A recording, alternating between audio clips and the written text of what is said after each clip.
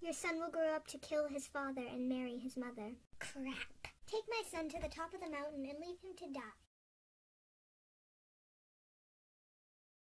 I've brought you an abandoned child to raise as your own. I'm a man now. Time to go visit the Oracle and learn my destiny. You're gonna kill your dad. What? And marry your mom. What?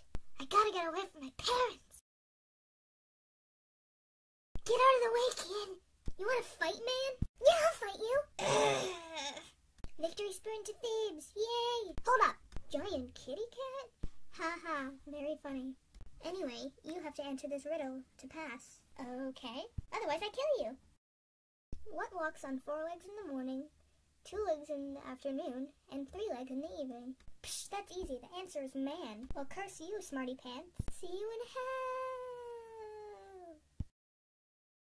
Wow, you defeated that Sphinx. You must be super duper smart. yeah, thanks. You should marry our widowed queen. Yeah, someone killed her husband while he was traveling. Hi, I'm Jocasta. Whoa, you're hot. I mean, hi. Sir, the city is suffering from disease. Yes, I know. I feel their pain. The only way to save the city from the wrath of the gods is to name he who killed Laius, the last king. Okay, who done it? You. What? Also, he's your dad. And you married your mom. What? Hey, babe, how would you react if I told you you'd actually married your son who had killed his father and had like four kids with him? Probably kill myself, but why do you ask? Well, it's kinda what seems to have happened.